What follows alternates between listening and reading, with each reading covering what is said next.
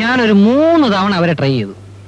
വീഴുന്നില്ല പിന്നെ മനസ്സിലാക്കിയത് ഇവരൊരു ബൈബിൾ പാർട്ടിയാണ്. ശരി. ഇന്ന് രാവിലെ ഞാനൊരു കുരിശ് വാങ്ങിയ കഴുത്തി തൂക്കി. ബാലു ഇവൻ വിടുന്ന വിടൽസ് കേട്ടോ. ആ വിടട്ടെ വിടട്ടെ. അവന്റെ സമയമല്ലേ. ഡേ ആ ഡോക്ടറെ എനിക്കൊന്ന് കേട്ടോ. അതൊക്കെ ശരിയാക്കാം. നീ ഇത് കേക്ക്. രാജുവായ ഞാൻ രാജു വർഗീസ് ആകുന്നു വാസുദേവൻ നായരെന്ന നിരപരാധിയായ എന്റെ അച്ഛൻ കപ്പ്യാർ വർഗീസ് ആകുന്നു ഞാൻ കുടുംബ പ്രാരാബ്ധങ്ങൾ ചുമലിലേറ്റുന്ന കർത്താവിന്റെ ഒരു ആശ്രിതദാസനാകുന്നു. എന്തിന്? രണ്ടായിരത്തി എഴുന്നൂറ്റി അമ്പത് രൂപയുടെ ഓർഡർ ഈ കൊച്ചുകളെ എങ്ങനെ ഒപ്പിക്കുന്നു മഹാകവി അവൻ കർത്താവിനെ വെച്ച് കാശാക്കി വീണു കണ്ടില്ലേ? അയ്യോ സ്വാമി. ഇങ്ങനെ നടന്നാ എങ്ങനെ? വല്ലപ്പോഴും ഈ സഭയെ ഒന്ന് ബഹുമാനിക്കണ്ടേ? മനസ്സിലായില്ല.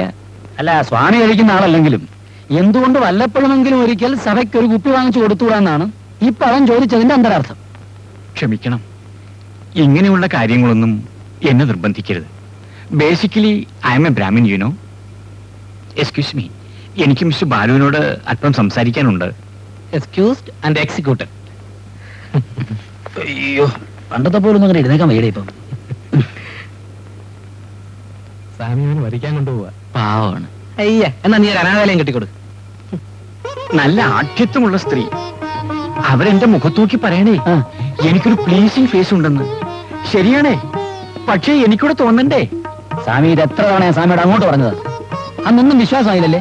ഇനി താഴെ അങ്ങോട്ട് പറഞ്ഞു ഒട്ടിയപ്പോ ഉടനെ എന്ന് പറഞ്ഞാൽ അവർ എത്ര പേരെ കാണുന്നതാ ഒരു ദിവസം.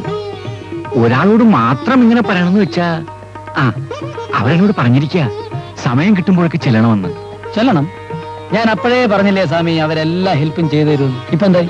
പിന്നെ ഇക്കാര്യം ഇപ്പൊ അവരോടൊന്നും പറയണ്ട. പറഞ്ഞാലെന്താ കുഴപ്പം? എന്തിനും ഒരു മറയിരിക്കട്ടെ. ha ha ha